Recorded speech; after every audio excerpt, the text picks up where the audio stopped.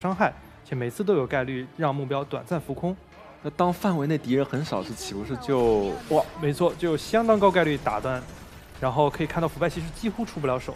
哇，这个这个编的简直是感觉到他很折磨啊！哈哈，是的。那依靠霍尔海雅的二技能，我们拖到了队友技能就绪，那就可以将腐败骑士快速的解决。那凋零其实岂不是他岂不是会狂暴啊？那是不是伏笔了就？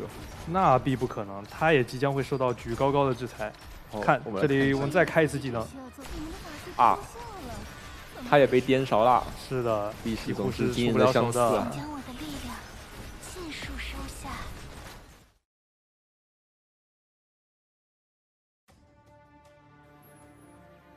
好，我们现在看下一场战斗。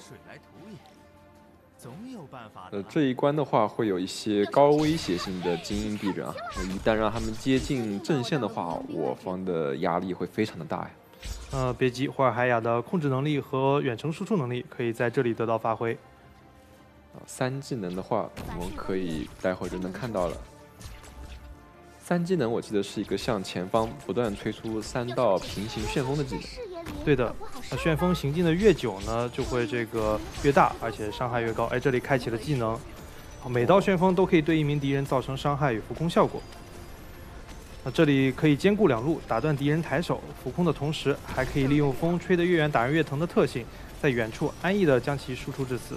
哇，这个技能的持续时间也很长啊！是的，可以起到一段较长时间的控场效果。